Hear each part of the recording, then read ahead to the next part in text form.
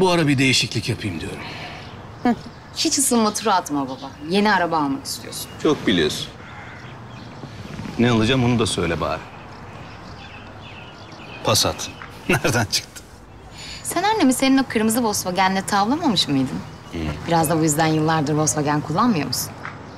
Yani. Peki, sehpanın altında gazetelerin arasındaki Passat broşürü. Nereden gördün sen onu? E küçükken bana aldığın gofretleri de oraya koyardın bulup sevineyim diye. Alışkanlık.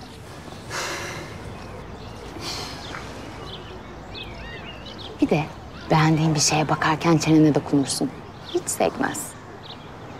Sen ne ara bu kadar dikkat ettin bana? Büyütürken sen dikkat ettin. Demek sıra bize geldi.